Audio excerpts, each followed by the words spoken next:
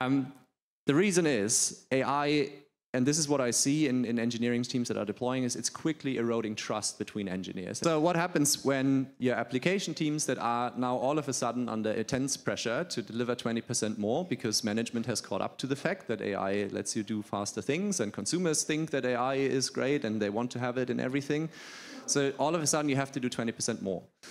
If you only deploy that AI to write code for you, all of a sudden your entire software delivery support system gets stressed by 20% more. Because if you deploy, or if you have 20% more changes to your code, you also got to deploy and review 20% more changes. You got to test them.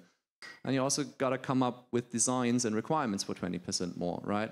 And that is really, really stressful for the entire software delivery chain, essentially, that you have in your, in your organization. Um, the reason is AI and this is what I see in, in engineering teams that are deploying is it's quickly eroding trust between engineers. And in the past, we've always said that trust is one of the hallmarks of a high performance team, right? That you trust that each of you has the best intentions and that all changes are made with good intentions and we let each other do mistakes and we can openly talk about them. The problem, all of that does not work with AI in the mix anymore.